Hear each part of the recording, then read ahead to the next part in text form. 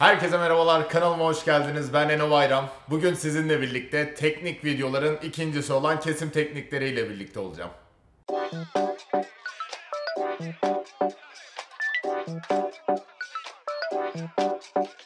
Pişireceğimiz malzemelerin uygun boyutlarda ve uygun şekillerde kesilmesi müşteriye sunduğumuz tabaktaki imzamız aslında. Bu yüzden de profesyonel mutfaklar içinde bazı kesim teknikleri ve kesim şekilleri oluşturulmuş. Bu hem imzanız olacak güzel ürünleri ortaya çıkarmak hem de sizin güvenli ve daha rahat şekilde ürünler ortaya çıkarmanız üzerine kurulmuş e, bir sistem baktığımızda. Geçen hafta bıçak tiplerini konuşmuştuk. Bu hafta ise öncelikle bıçağı nasıl tutacağımızla başlayacağız. Bu da aslında en önemli şeylerden bir tanesi. Çünkü çok fazla yanlış tutumu söz konusu. Ama basit olarak yapacağımız iki tane şey var. Bir tane şef bıçağım var bugün elimde. Ve yapacağım ilk iş işaret parmağımı sapı tuttuktan sonra işaret parmağımı bolster adını verdiğimiz şu kısmın yanına şu şekilde koymak. Ve sonrasında da arkada kalan baş parmağımla da diğer tarafından destekliyorum. Ve bu şekilde tuttuğunuzda bıçağa her türlü hareketi yaptırabilme kontrolüne sahipsiniz. Saptan direkt şu şekilde tutmak yeterince güç verememenizi sağlayacaktır.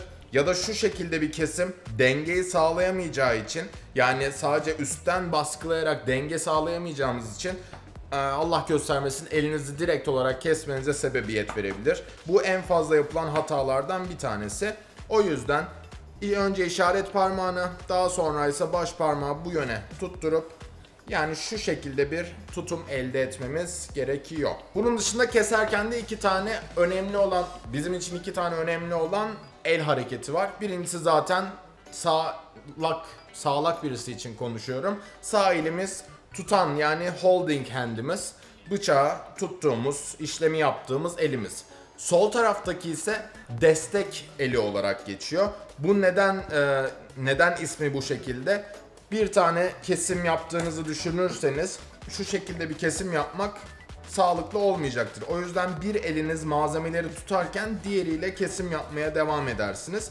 Ve o yüzden de sol elimiz yani bıçak tutmayan elimiz destek eli olarak e, isimlendirilir. Bu elin kullanımı için de bir tane kuralımız var. Bu da ayı pençesi olarak geçiyor. El parmaklarınızın baş parmak dışındaki dördünü şu şekilde bir pençe haline getiriyorsunuz ve baş parmağınızı da onlarla şurada birleştiriyorsunuz ve tutacağınız bütün malzemeler bu şekilde tutulması gerekiyor.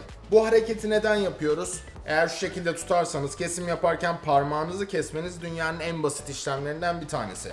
Ama şu hareketi yaptığınızda şurada gördüğünüz duvar bıçağın izleyeceği yol olacak. Ve ne yaparsanız yapın parmağınızı dışarı çıkarmadığınız sürece kesim işlemi parmağınızla gerçekleşmeyecektir. Bu da güvenli şekilde bütün kesim operasyonunu bitirmenizi sağlar. Hepimizin kesim teknikleri noktasında öğrenmek istediği, yapmak istediği şey tabii ki bıçağı bir şef gibi kullanmak. Yani şu gördüğümüz hareket. Ve bu dünyanın aslında en basit hareketlerinden bir tanesi. Sadece tek yapmanız gereken şey çok çok çok fazla tekrar etmek. Yani çalışma yapmak, pratik yapmak. Ama basit anlamıyla bu hareketin mantığı şu şekilde. Bıçağınız havada, bıçağınızın tip kısmı, uç kısmı tahtada ve topuk kısmı havada başlıyoruz. Ve malzememizin topuk kısmında olduğunu düşünelim. Yani bütün kesme işlemini topukla yapacağız. İleriye doğru kaydırırken bıçağın ucunu topukla da kesme işlemi yapıyoruz ve geri kaldırıp çekiyoruz. İleri bastır, geri çek. İleri bastır, geri çek. İleri bastır, geri çek. İleri bastır, geri çek. Gibi bir mantıkla kesme işlemini tamamlıyoruz. Bu birazcık bisiklete binmek gibi. Bu noktada aslında bir terim karşımıza çıkıyor. Kas hafızası dediğimiz şey. Bütün kaslarımız beynimizdeki nöronların arasındaki elektron iletişimleriyle birlikte harekete geçiriliyor. Ve çok fazla sürekli kullandığımız hareketler, kaslar ve hareketler çok rahat şekilde artık otomatik olarak biz farkında olmadan yapılıyor. Buna da öğrenilmiş kas hafızası deniyor. Bizim aslında kesim yaparken pratiği fazla tutmaya çalışmamızın sebebi de aslında bu. Şu gördüğünüz hareketi ne kadar fazla yaparsanız artık beyin bu hareketi normal gündelik bir hareket olarak kendi nöronları içinde adlandıracağı için çok rahat şekilde yapacaktır. Yani siz bir bıçak aldığınızda istemeseniz de bu hareketi direkt olarak uygulayacaktır elleriniz. Bu şekilde öğrendiklerinde. O yüzden bu hareketi sürdürebilmek adına sürekli olarak sakin sakin hızlanma isteğine kapılmadan olabildiğince fazla pratik yapmak sizin ihtiyacınız olan tek şey. Buradan sonra karşımıza kesimlere başlamadan önce iki tane isim çıkıyor. Biri high cut, biri de low cut yani yüksek ve alçak kesimler. Çünkü burada da iki isim karşımızda. Bir dilimleme, bir kesme. Yani cut ve slice ortaya çıkıyor. İsimleri, terimleri ortaya çıkıyor. Bu neden e, söz konusu? Bu gösterdiğim harekette her zaman bıçağın ucu yani tip kısmı tahtaya bağlı olmak zorunda. Ama şu yükseklikte bir malzemeyi bir patates keserken benim bunu yapmam gördüğünüz gibi bileğimde çok gereksiz ergonomik olmayan bir e, sonuç ortaya çıkarıyor. Bu yüzden de yüksek katlar yani high katlar yaparken her zaman bıçağımızı şu şekilde kullanacağız. Yani direkt olarak topuk kısmı ya da orta kısmıyla aşağıya doğru kesme işlemi yapacağız. Ama daha alçak boylu low cut kesimlerde ise bıçağın ucunu sabit tutarak kaydırma işlemiyle dilimleme yoluyla kesimimizi tamamlayacağız. Bu noktada malzemelerimizin high cut ya da low cut olarak kesilmesindeki ana etken tamamen malzemenin yüksekliği olacak. Bundan sonra ise direkt olarak dice'larla başlayacağız. Yani küplerle başlayacağız. Çünkü bu mutfakta en fazla kullandığımız kesim türü diyebiliriz. Bunu yaparken de 4 tane isimden bahsedeceğiz. Brunoa, Macedon, Farmatier ve Kare. Bunların ölçülerini size videonun içinde veriyor olacağım ancak öğrenilmiş kas hafızası dediğimiz şeyin aslında en güzel noktalarından bir tanesi de bu. Siz gözlerinizle ellerinizin tamamen birlikte kombine şekilde çalışmasını sağlıyorsunuz. Çok fazla misal veriyorum Macedoğan kestikten sonra ve bu noktada da sizin ölçülere ihtiyacınız olmuyor. E, tabii ki mükemmele ulaşmak çok uzun süreler çalışmalar gerektiriyor. Ama başlangıçta da çok güzel sonuçlar alacağınıza eminim. Öncelikle şu boyda bir şeyle başlıyorum. Brunoa dediğimiz tamamen Türkçe'de sıçan dişi olarak belirtilen değişik bir isme sahip. Küçücük yani toplu iğne başı kadar e, olacak büyüklükte kes, e, kesilen küplere verilen isim. Bu noktada yuva, e, havuç gibi yuvarlak malzemelerle çalışırken öncelikle bir yanından şöyle bir kesik alıyoruz ve çalışacağımız yani havucu dayadığımız alanın düz olup kayma ve elimizi kesme ihtimalini sıfıra indirmeye çalışacağız. Bu kestiğimiz parçalara da plak adı veriyoruz. Yani plaka Fransızcadan geçmiş plakanın aynısı. Bu noktadan sonra da istediğimiz incelikte yani şu an için burnu inceliğinde parçalar kesmeye çalışıyoruz. Bu kesimi yaptıktan sonra dik kesimlerde en fazla sıkıntı yaşayacağınız şeylerden bir tanesi de kesimdeki malzemenin başlangıcıyla sonun arasındaki incelik farkı olacak. Yani dümdüz bir kesim yerine hafif eğimli bir kesim yapacaksınız. Ama bu tamamen el kaslarınızın güçlenmesinden sonra çok rahat şekilde dümdüz makine gibi kesmenize imkan verecektir. Bunu yaptıktan sonra da uygun boyda kesiyorum ve kibrit çöpleri ortaya çıkartıyorum ve sonrasında bütün malzemelerimi eşit hale getirip istediğim burnu boyutunda keseceğim.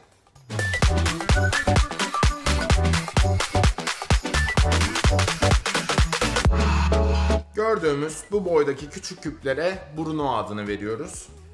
Bu genellikle soslar yani kestiğimiz malzemelerin çok fazla görünmesini istemediğimiz yemeklerde kullandığımız bir kesim şekli. Brunoa'dan sonra ise Macedoğan geliyor ve Macedoğan'dan sonra Parmetier ve boyutlarda giderek aslında Brunoa'dan başlayarak yukarı doğru artıyor. Yine bir plak oluşturuyorum. Ve daha sonra istediğim boyutta kesimler yapıyorum. Macedoğan birazcık daha Burnua'ya göre daha rahat kesilen bir şekil. Çünkü boyut olarak çok daha rahat görüş almanızı sağlıyor.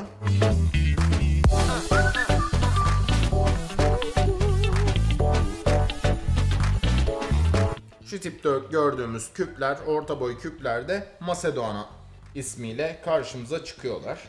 Farmatiye ise yapacağımız diğer kesim şekli. Farmatiye için de yine uygun boyutlarda bir plak al- alacağım. Ve sonrasında gerekli boyutlarda küpleri keseceğim.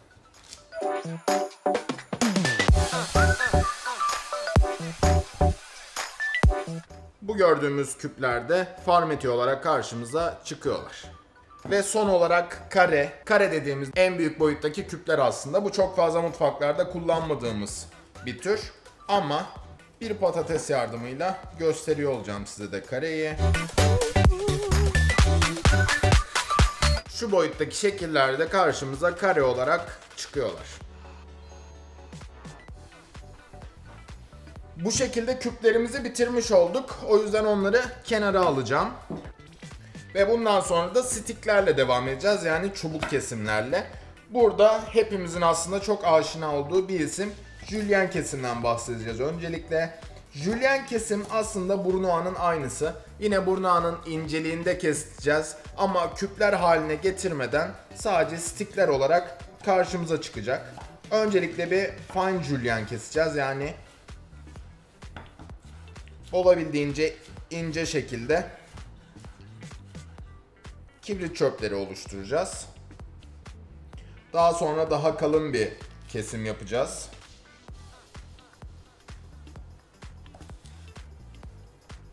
Ve buna da Julien ismini vereceğiz.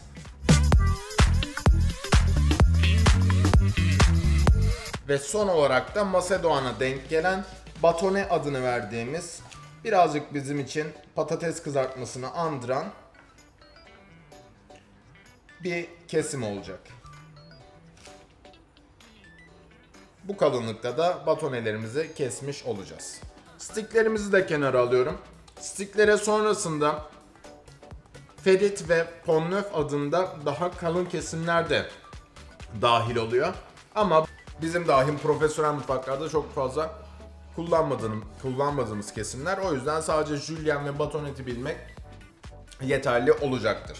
Bu noktadan sonra ise rondelle devam ediyoruz. Yani diğer ismiyle bozuk para. Bu aslında çok basit bir kesim şekli. Yaptığımız tek şey var. Aldığımız sebzemizi bozuk paralar şeklinde yani daireler halinde kesiyoruz. Bunu en fazla geçen haftalarda yaptığımız ratatouille tarifinde kullanmıştık. Şu şekilde bozuk para boyutunda ve eşit incelikte kesimler yaparak rondeli de tamamlamış oluyoruz. Bundan sonra ise oblik karşımıza çıkıyor. Oblik en garip kesimlerden bir tanesi baktığınızda. Çünkü abi neden bunu yapıyorsunuz e, dedirtiyor insana. Ama mantık olarak öncelikle 45 derecelik bir kesim atıyoruz. Ve havucumuzu yani sebzemizi yaklaşık 90 derece kadar çevirip tekrar kesim atıyoruz. Kesiyoruz, çeviriyoruz, kesiyoruz, çeviriyoruz, kesiyoruz, çeviriyoruz. Ve bu şekilde tüm sebzelerimizi tamamlıyoruz. Gördüğümüzde ise şu tipte bir kesim elde ediyoruz baktığımızda. Oblik genellikle fırında pişirilecek sebzeler için kullanılıyor. Çünkü şu şekilde bir sebzeyi fırına attığınızda direkt olarak sivri kısımlarından e, renk almaya başlayacak ve çok güzel bir görüntü ortaya çıkaracaktır. Oblik de bu şekilde karşımıza çıkan bir kesim tekniği. Daha sonra ise peyzen var. Peyzen tam köy usulü bir kesim aslında. Bu kesimlerde mükemmelliğe ulaşmaya çalışırken birazcık e, şek, e, malzeme feda etme durumunuz olabiliyor. Tabii ki profes, profesyonel mutfaklarda her zaman bu malzemeler işte et suyu, tavuk suyu vesaire gibi malzemelerde şeyde ürünlerde kullanılsa da e, tabii ki %100 verimle çalışamıyoruz. Peyzen dediğimiz kesimde ise hiçbir şekilde plak çıkarmak ya da özel bir şekil yok. Elimde yuvarlak bir sebze mi var? Bunu dörde bölüyorum. Yani tam köylü usulü. Dörde bölüyorum. Ya da bu herhangi bir şekilde olabilir. Elimde kare, kare bir parça varsa onu da aynı şekilde kesebilirim.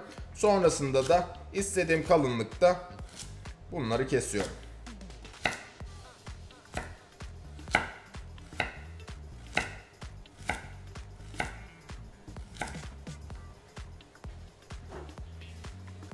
Gördüğünüz gibi ince tamamen sebzenin kendi şeklinde küçük parçalara ayrılmış bir kesim. Bunu genelde internette araştırdığınızda kare ince kesimler olarak da görebilirsiniz. Dediğim gibi sebzenin türüne, boyuna, e, şekline göre tamamen kesim şekli size kalmış durumda. Bunun yanında diagonal adını verdiğimiz verevli kesimden bahsedeceğiz. Bu maalesef yani Türkiye'de en fazla jülyenle karıştırılan şeyler, e, kesimlerden bir tanesi. Ama çok basit şekilde belli bir açı vererek kesim yapıyoruz. Ve bu açıya da eğimli şeklinden, verevli şeklinden dolayı diagonal ismini veriyoruz. Bu da genellikle işte ızgaralarda, ızgarada bir sebze pişirecekken ya da olabildiğince sebzenin içindeki tadı almaya çalışıyorsak, misal veriyorum bir et suyu yaparken havucun içindeki tatları çıkarmaya çalışıyorsak en fazla iç yüzeyi ateşle e, buluşturmak isteriz. Bunun için de diagonal kesim en kolay, en iyi yollardan, kesimlerden bir tanesi olur bizim için. Bundan sonra ise lozanjla devam edeceğiz. En sevdiğim kelimelerden bir tanesi diamond demek yani elmaslar oluşturacağız. Bunun için de elimdeki patlıcandan bir plak çıkaracağım.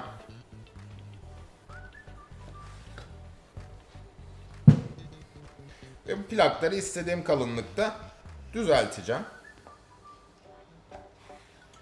Bundan sonra ise yapacağımız tek şey çapraz kesimler oluşturmak.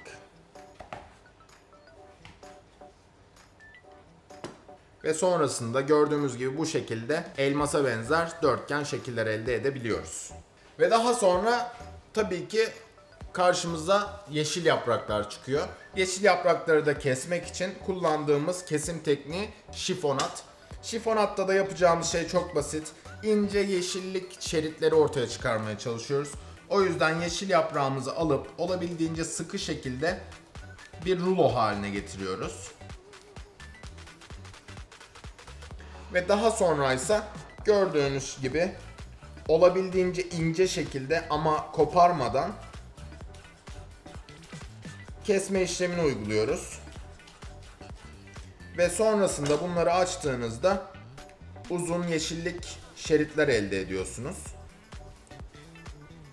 Şifonat noktasında dikkat etmemiz gereken iki nokta var. Birincisi kullanımdan hemen önce kesilmesi gerekiyor kararma yapabileceği için.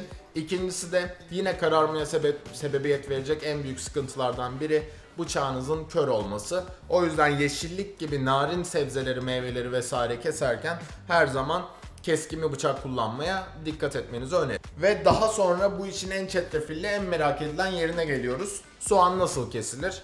Bu noktada iki tane soyulmuş soğanım var. Birincisi dilimleme yollarını göstereceğim öncelikle. Yani slice dediğimiz dilimler çıkarma işlemi. Bunun için soğanınızın kök kısmını her zaman birleşik şekilde bırakın. Yani tamamen kesmeyin. Bu şekilde daha rahat kontrol edersiniz. Slice'lar dilimlemeler noktasındaysa iki tane örnek karşımıza çıkıyor.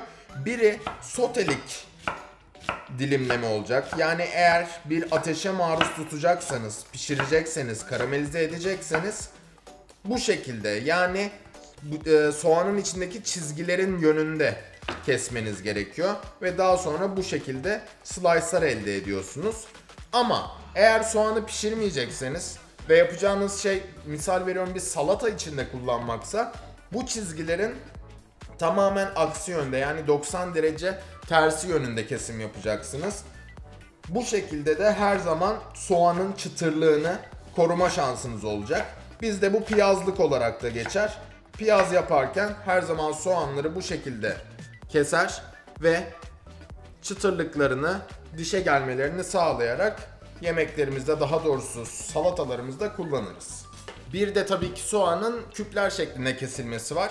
Bunun için de kök noktasını koparmadan soğanımızı ikiye bölüyoruz. Ve yapacağımız şey öncelikle soğanın üstündeki çizgiler noktasında kesikler atmak olacak. Yukarıdan yani dikey kesikler. Boyutu da tamamen hangi boyda kesmek istediğinize göre belirleyeceksiniz. Şu şekilde kökü kesmeden ama köke en yakın olacak şekilde dikey kesimler yapıyoruz. Ve soğanımızı 90 derece çevirip yatay eksende iki kesik daha atıyoruz.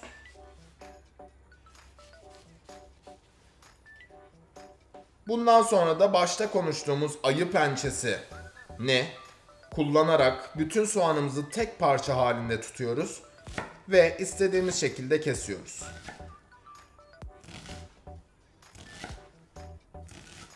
Belli bir noktadan sonra artık kesmenize izin vermeyecektir. Yani mümkün olmayacaktır.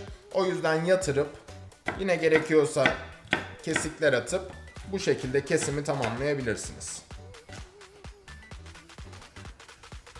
Farklı boyutlarda aynı sistemi uygulayarak kesim yapmak mümkün.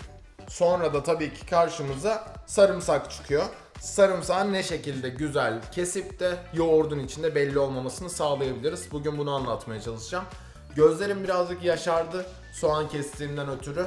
Ee, soğan keserken ağzınıza bir kibrit çöpü almanız ya da herhangi bir yerde akan su olması soğandan kaçan bütün sıvı moleküllerin o sıvı ortama yapışmasını sağlayacaktır. Bu şekilde de gözleriniz yanmayacaktır. Küçük bir e, tip olarak aklınızda bulunsun. Sarımsağımı alıyorum, bıçağımı üstüne koyuyorum ve dikkatli şekilde vuruyorum ve sarımsağım tamamen eziliyor. Burada direkt olarak kalıp şeklinde kalıp kabuğunu çıkartıyorum, kökünü alıyorum ve yine birazcık bastırıyorum düz bir denklemde durması adına. Ve yapacağım tek şey olabildiğince ince şekilde sarımsağımı kesmek olacak. Sarımsağı bu şekilde keserken diğer bir kesme şeklimiz yani chop dediğimiz tamamen parçalama, kıyma işlemi karşımıza çıkıyor. Bunu yaparken de bıçağımızın ucunu tahtaya koyuyoruz ve üç parmağımızla destekliyoruz onu tamamen bastıracak şekilde ve diğer taraftaysa bıçağımızın topuk şey topuk kısmına denk gelecek şekilde yukarı ve aşağı işlemlerini yapıp kesimi tamamlıyoruz. Bunu yaparken sürekli olarak malzemenizi belli bir noktaya toplamanızı ve alt üst etmenizi öneririm. Çünkü kesilen küçük parçalar dibe inip üsttekiler kesimden nasibini alamayabilir. Ve her zaman dar bir alanda çalışmak sizin için daha az hareket ve daha az iş demek olacaktır. Gördüğünüz gibi küçük küpler halinde kıyılmış sarımsakları elde ettik. Yeter mi? Tabii ki yetmez. Sarımsakla yapabileceğimiz diğer bir şey ise sarımsağın püresini çıkarmak yani tamamen püre haline getirmek. Bunun için de bir sarımsak daha hazırlayacağım daha rahat gösterebilmek için. Öncelikle tamamen yine kıyacağım bütün sarımsaklarımı ve sonra sarımsaklarıma bir parça tuz ekleyeceğim.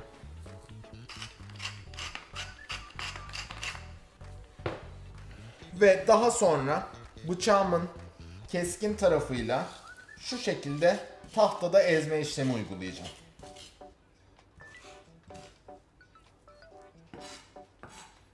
Daha ilk seferde dahi sarımsağın yavaş yavaş ezilmeye başladığını göreceksiniz. Burada tuzu eklememizin se- eklememizin sebebi ise tuzun hem malzemenin içindeki suyu çıkartacak bir yapıda olması hem de sürtünmeyi arttıracağı için parçalanmayı hızlandırması. Tuzu kullanmamızın sebebi. Bunu yaptıktan sonra tahtadan toplamayı unutmayın. Son bir kez geçiyorum.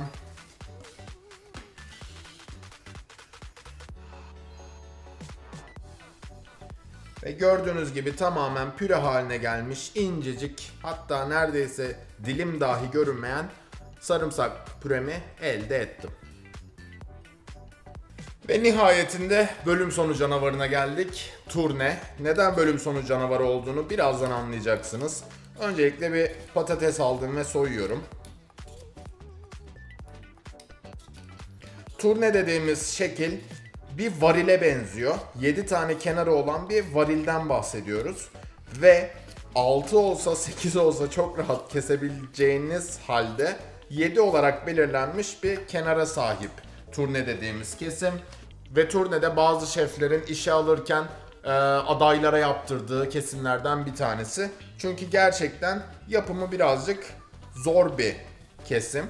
Şu şekilde bir parça alıyorum öncelikle. Daha sonra ise utility knife'ımı alıyorum. Ve öncelikle bir kenardan eğik bir kesimle başlıyorum. Daha sonra diğer taraftan da alıyorum aynı şekilde.